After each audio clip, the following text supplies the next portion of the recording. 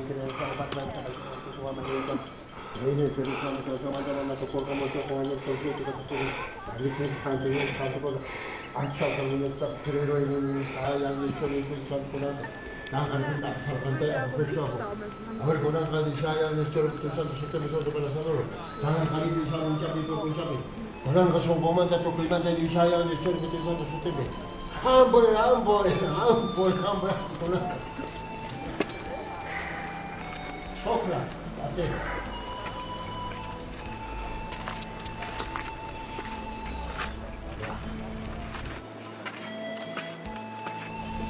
Şayan Rusyalı gösterdiğim falsafe enemin kireyim şöyle kaç kaç kaç gün olsun da onun dakikayı şöyle kaç kere şamanda onda topor komoca kuanyo.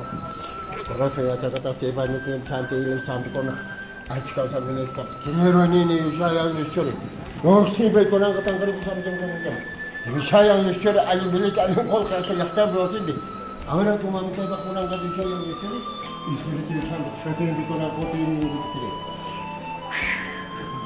Hi, Mom. Hi, Dad. on on day one, I almost conquered my fear of heights because we had to walk miles and miles and miles along a little platform that was about that wide. To your right was death. To your left was a freezing aqueduct. but I knew as we were walking down another pathway when the bulls came running, it was all going to be okay. It was a good sign. We um, hiked to the bottom of a glacier. Can you believe that? We slept, uh, and it was freezing cold in those sleeping bags. Um, but it was just absolutely beautiful to wake up and see that snow-capped mountain right next to us. And of course, we had to hike through frozen streams and frozen, um, I wouldn't say frozen rivers, but there was ice on, on the edges of the rivers too and uh, we hiked up, up, up, up, up. And I loved hiking up, but when it came down to hike down, I was, I was, my fear of heights came up and grabbed me again. Uh, so hiking down, I was too incredibly slow, and um, I got the Peruvian Cadillac. The horse, he carried me down the mountain. That was pretty nice. I enjoyed it. And that was kind of a grueling day. It took, took all day long. We, we hiked for over 10 hours and we only stopped for maybe you know, 40 minutes for lunch and two breaks, two 10 or 15 minute breaks. So we hiked all day long. Day three was a really pleasant hike. It was um, really enjoyable because we had time to enjoy uh, the flora and the fauna and the forest and, and the cool air and the um, forest cover. It was a slower pace. We had a much easier hike.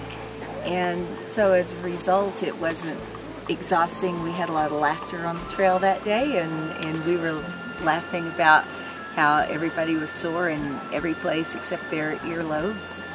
Um, then that night, when we got into camp, we went to um, some hot springs, and it was just absolutely wonderful to, to be able to soak in hot water for a couple of hours and take a shower.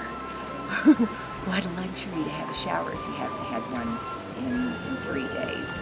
And then that night, uh, they built a bonfire in the campground. All of us danced around the bonfire for hours until the electricity went out and we didn't have music anymore.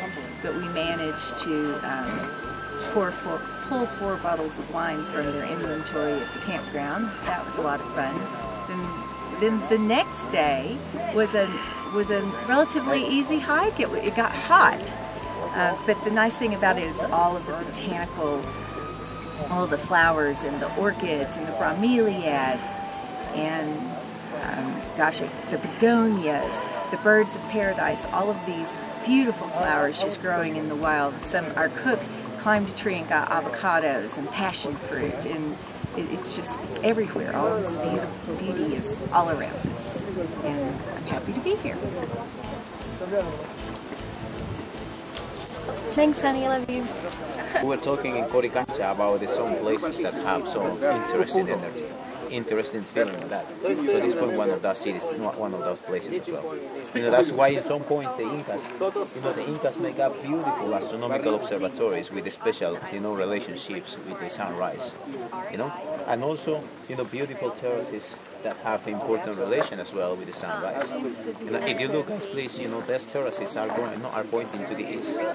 You know, because you know the sun have a special, you know, function you know, to grow many different crops in this point. Say hello to your friends. Huh? It's amazing. Amazing. Amazing, amazing. Huh?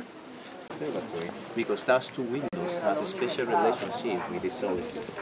You know, we have the east in that way. You know? And when the sunrise get out, guys, you know the rays go to that window, and it's the sun, uh, sorry, winter solstice. You know, and then, you know, when the rays go to another, it is, you know,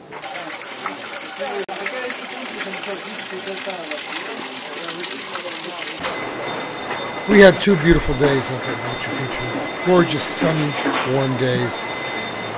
But on the third day, it was raining.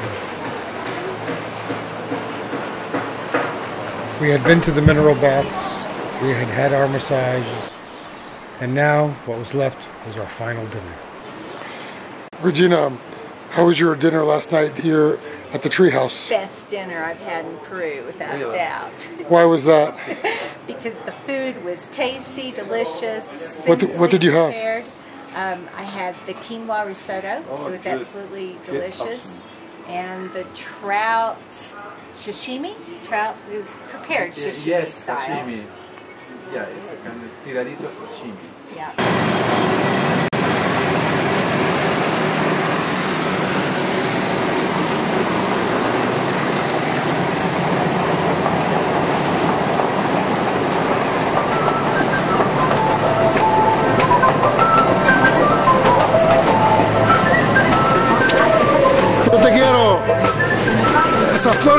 Flores para mi esposa.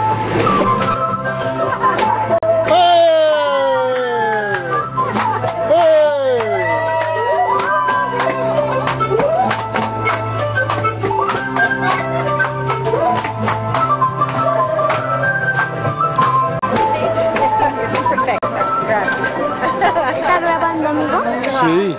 Mira, ¿lo ves? We got a. Lo. Really good.